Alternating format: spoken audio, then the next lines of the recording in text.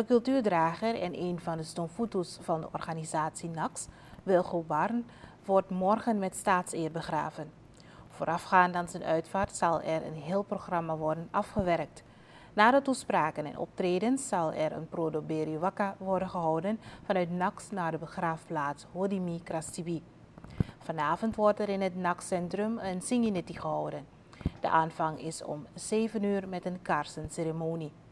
Barn heeft de alom bekende Ala Kondredrong opgericht. Wij voeren nu terug naar een van zijn optredens.